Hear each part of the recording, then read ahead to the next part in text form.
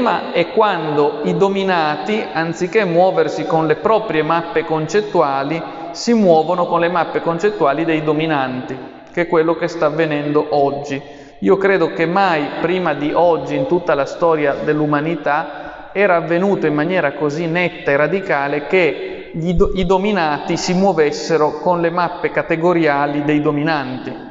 e che quindi finissero eh, necessariamente per amare le proprie catene e i rapporti sociali tali da giustificare il loro dominio. Oggi eh, è in auge una vera e propria neolingua di tipo orwelliano che serve a santificare le idee dominanti e a demonizzare preventivamente la stessa costituzione possibile di idee non allineate con quelle dell'ordine dei dominanti. Eh, questa neolingua ha già da tempo coniato un'espressione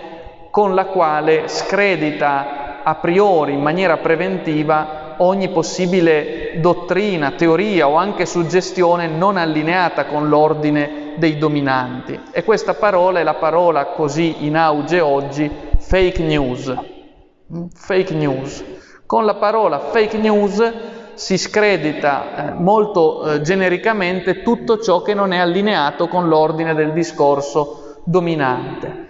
Eh, addirittura è stata istituita una task force contro le fake news, cioè contro ogni visione non allineata. Ora bisogna intendersi naturalmente quando si parla di fake news e non, non entro nello specifico del discorso ora, mi limito a dire che Faccio un esempio concreto, dato che ci sono gli stati generali forse torna anche di una certa attualità paradossalmente, anche se qui parlerò degli stati generali quelli precedenti. Ecco, quando eh, dire che Re Luigi XVI non morì è ovviamente una fake news, eh, in effetti è falso, morì Re Luigi XVI nel 1793. Ora questa è una fake news, certo.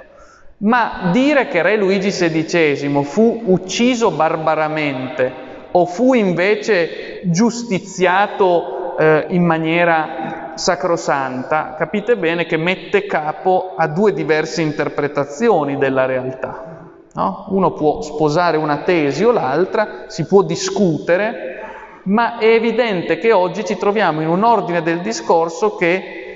liquida come fake news la tesi di chi dice, supponiamo, re Luigi XVI fu, eh, giu, fu, massacrato barbaramente, o l'altra versione se preferite, era solo per far capire l'aspetto, cioè con l'accusa di fake news si dice di voler colpire chi dice che re Luigi XVI non fu ucciso, ma in realtà l'obiettivo è di colpire come fake news chi dia un'interpretazione non allineata a quella dominante, questa è la vera posta in gioco. La vera posta in gioco non è colpire chi dice 2 più 2 fa 5, no? Quello è talmente evidente che non c'è neanche bisogno di una task force, ma è di colpire come se dicesse che 2 più 2 fa 5 chi dice ad esempio che la globalizzazione capitalistica non produce ricchezza e bengodi per tutti, ma produce invece miseria e sfruttamento, per dirne una, o per parlare di cose molto attuali che il lavoro precario, con buona pace di chi lo invoca anche in questi giorni, non produce più assunzioni e migliori condizioni lavorative, ma esattamente il contrario, dati di economisti anche alla mano. Ecco quindi che allora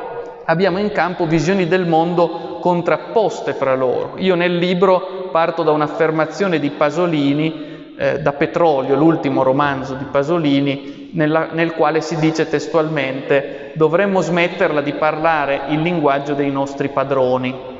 questo dovremmo fare, smetterla di parlare il linguaggio dei nostri padroni, che chiamano libero mercato